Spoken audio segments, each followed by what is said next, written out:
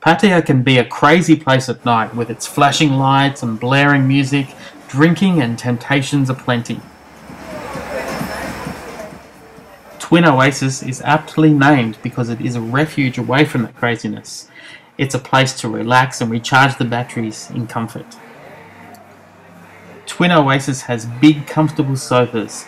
It plays its music nice and low and has soothing lighting where you can just kick back and enjoy a few hours of relaxation in the company of good friends.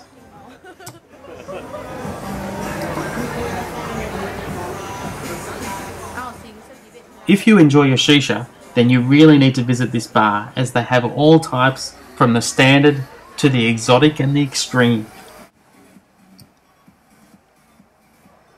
Located on Third Road, it's far enough away from the hustle and bustle to relax, but still close enough to the action that once you have recharged your batteries, you can head straight back out into the middle of it.